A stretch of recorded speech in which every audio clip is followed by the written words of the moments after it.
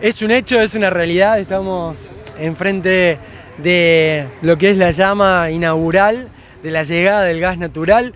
El gas natural que el gasoducto troncal está aquí a 5 kilómetros eh, enfrente de nuestro parque industrial y hoy ya lo tenemos en las inmediaciones del predio, un predio que hace 25 años se fundó, que tiene hoy radicadas más de 80 empresas con más de 500 puestos de trabajo directo empresarios locales de la región y de toda la República Argentina que han decidido invertir con cadenas de producción muy importantes y de las más variadas y que lo configuran al Parque Industrial de General Deza como uno de los importantes polos agroindustriales de la República Argentina con el desafío que tiene hacia adelante de transformarse en un parque tecnológico de base tecnológica con la radicación de jóvenes que sean protagonistas con sus startups y que es parte de mi anhelo y del anhelo de todo el equipo de trabajo que lo podamos conseguir.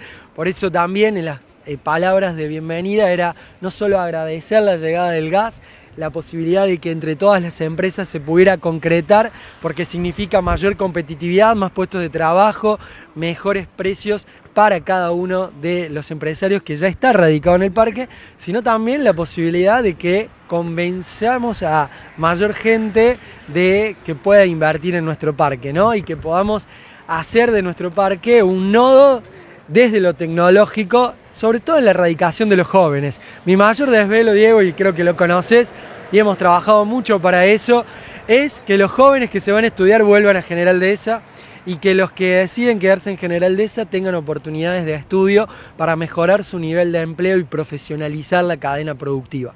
Ese es el desafío y el objetivo porque es la pirámide más grande que tiene la ciudad de General Dehesa y de la región y es la pirámide productiva. Creo que en ese sentido los objetivos se están alcanzando, han visto sus logros, no solo la llegada de los jóvenes con trabajos de tesis en cada una de las instituciones, la posibilidad de potenciar la asociación empresarial con la Universidad Siglo XXI y la firma de convenios con cursos de salida laboral corta la posibilidad de potenciar nuestro nivel terciario del Instituto 25 de Mayo, que en el mes de octubre, noviembre vamos a estar inaugurando su nueva sede la posibilidad de la llegada del gas al parque industrial con la erradicación de nuevas empresas y el centro de innovación tecnológica que vamos a estar inaugurando el próximo 22 de junio, que es una ampliación del Zoom con equipamiento tecnológico para la erradicación de jóvenes y de startups.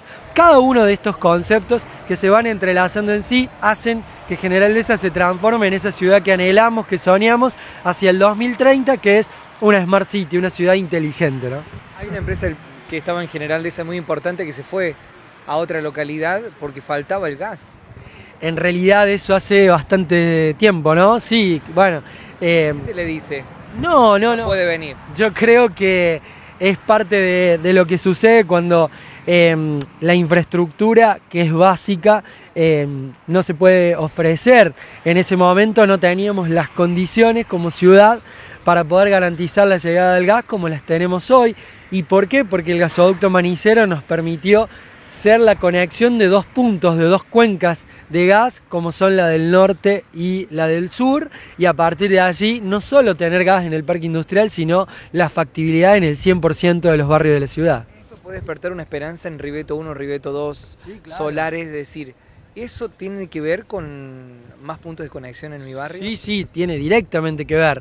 En Solares del Sur estamos haciendo ya tres conexiones troncales, una ya está terminada, las otras dos se están por comenzar. En el loteo de la mutual de las comunidades están muy poquito a cumplirlo para tener el 100% de gas y allí tenemos la factibilidad también para hacer las troncales en el barrio Lotengo.